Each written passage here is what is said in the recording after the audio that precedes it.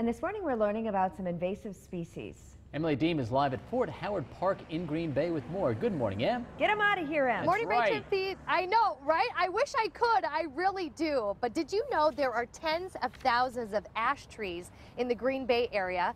And there is a little invasive species in there that's being a little pest. And I wish I could go in each tree and get rid of them, but I can't. That's why we have Brian Pilot here with me this morning, the assistant forester with the city of Green Bay. Look at the mess that they create in those trees. It's unbelievable. They're in the Green Bay area. We have some tips for people on how to actually try to treat their ash trees, right, Brian? Yep. Yeah, there's a homeowner product that you can use um, as a homeowner to treat your tree. You treat it once for the year and it's good.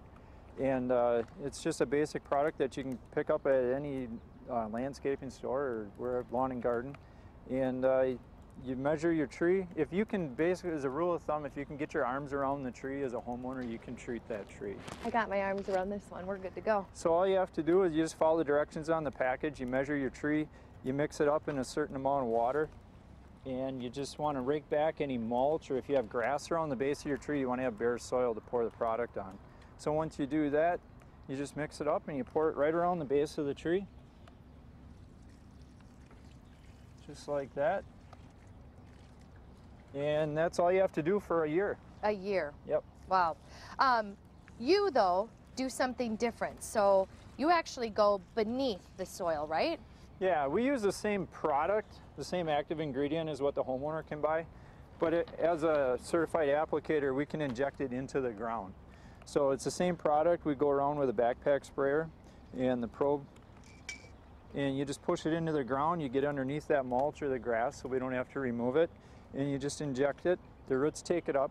It's a systemic insecticide. And then once it's in the tree, as those little uh, larvae are feeding on the, on the bark, they, uh, they ingest the chemical and it kills them. Um, and you were also telling me, even if you don't see signs, just treat your tree. Even if you have an ash tree Yep. in your yard, just treat it if you don't see anything. Yeah, preventive treatment is really the best way to go. It can be 95, 99% uh, effective in protecting your ash tree. You've had to replant a lot of trees in the Green Bay We area. have. There's some back there along the road here because they're in our area where we're where we're talking right now, right? Yeah, yep. 20% of the street trees in Green Bay are ash. So we're trying to reduce the numbers of those trees that, that aren't healthy right now. They're not necessarily infested, but just not healthy trees. So we're cutting the, those ash trees down and replanting, getting more diversity on our streets. And uh, we got a grant uh, for the next two years that we can use for treating trees and planting new trees.